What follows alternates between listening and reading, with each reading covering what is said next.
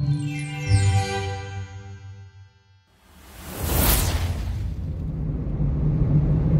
everyone, Joe G with Touch of the Brush Model Weathering, and today is a awesome Saturday because I am on the way to the Northwest Arkansas Model Train Expo, train show, whatever you want to call it, and it's being hosted by the Sugar Creek Model Railroad Club, so uh, it's going to be a great show. Last year there was a huge turnout of folks, and I'm hoping today to see a lot more people showing up this time around because the weather believe it or not, it's actually really nice out for end of February. It's been fairly mild, and so hopefully everybody could get out this time around. Last time we had a huge snowstorm like two days before, and I mean snowstorm for Arkansas. You know, it's it's it's maybe a little bit for us New Yorkers, but you know, living in Arkansas, it was fairly it was fairly gnarly. Um, but yeah, we're gonna check it out here and see who's around and. Uh, I know we got some NMRA guys going to be there, and so I'm hoping to uh, meet Kent from the Maple Leaf chapter. He is the president of our region from Carthage, Missouri, down through Arkansas. So hope to get a chance to meet him, and I know my railroad is going to be there, so I'll go say hi to the folks there as well and see what goodies they have because I am excited this year. So uh, stay tuned and let's see what we can find and who we can meet. All right, we're about to pull in here. And it is 10 minutes to opening. So I'm very, very, very early. And the best part is I think I see one of my conductors with me. Oop, I think I'm all blurry here. there he is. And look at that, there's a lot of people here. That is him. I'm to park right next to him. How about that? And we work together, you know. All right. It's uh, it's fairly quiet at the moment, but man, this is pretty cool, though. Last time it was slammed. So hopefully later there'll be some people here and get to have a good time. So let's go check out what's inside.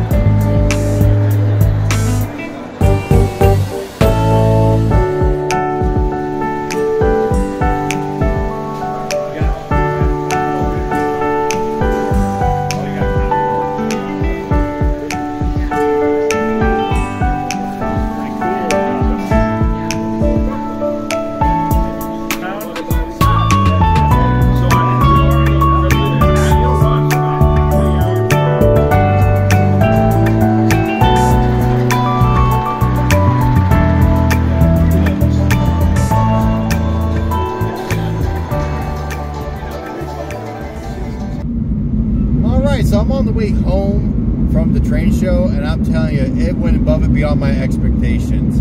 There were so many people there, as you can see from the videos. I wish I was able to take more, but I I spent I, I told myself two hours because I I haven't slept yet. I work nights. I haven't slept yet, and and it starts. The show starts at nine in the morning, and now it's past one in the afternoon, and so that's just the way it goes. It was really cool to meet a lot of the folks, and that's what's great about these train shows, guys, is that you get to meet folks, and it becomes like a family reunion in a way, you know. And so I recommend anybody who hasn't been to a train show, please go to one. Meet people, hang out. I met historians today. I met folks who own and operate steam, live steam engines. Um, they own their own passenger depots out in Oklahoma. Uh, I met our buddy Kent, actually our uh, NMRA chapter president Kent today, so I got to meet him in person, hung out with him. Um, even had people come up to me recognizing my Touch of the Brush Model Weathering logo on my shirt and say, hey, we're friends on Facebook. I know you from TikTok, or you know, I know you from the business itself, and and, and I actually gained some clients too today. So that's pretty. It's really awesome. It was really a productive day in the sense that I was able to meet people, reunite with a lot of people I haven't seen in probably a year. So I recommend you guys go to a train show. And yes, it's really cool to go to this one because it's so intimate and everybody pretty much knows each other. So yeah, it's a big family.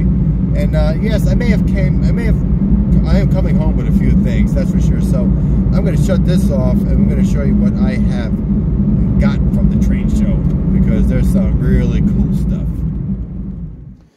Okay, to go through a little bit of what I purchased at the train show. Here is a railroad stations and trains through Arkansas in the Southwest. I was looking for a Frisco book, something on the history of the Frisco Railroad, and I couldn't find one, but I found this one, and this is really nice. This was apparently used, but it had plastic on it, and it's in mint, mint condition. It is beautiful. And so this is a really, really nice. And actually, I pulled up right to Rogers. This is where one of the rail lines I do work. Um, I do run the train from Springdale, Arkansas, all the way down to Fort Smith. So this is a really, really neat book. I can't wait to start reading it. Another book that I have purchased for like 15 bucks. And this is just a sleeve. I actually have the book in my grip bag right now. Um, this is the history of the Santa Fe Railroad, and this is a really, really awesome book. I started reading this thing, and it's packed with a lot of info, a lot of a lot of detail, uh, detailed uh, descriptions and stories and history. And this is a nice, really beautiful artwork on this. Okay, it's a little used here, but again, for fifteen dollars, you really can't beat it. And now I officially have the books I want for my Santa Fe collection. Speaking of Santa Fe, here is the uh, Super Chief pamphlet. This is a really nice shape. Um, the Super Chief, it's really, I forget what year this is. This one is, but yeah, this is really nice. But it shows the different, uh, all the different fleets on the rear end and and over here uh, on the back rather, and then just some really nice artwork for advertisements. Um, this is a Santa Fe 1926 Grand Canyon line timetables and map. It is in beautiful shape too. So I was really happy to pick this up. I mean, look at that. That's really, really nice. And then last but not least, as far as the uh, memorabilia, this is the Frisco timetable from 1971. And what's great about this, this features the rail line that it actually run on. So um, I can't find it right here.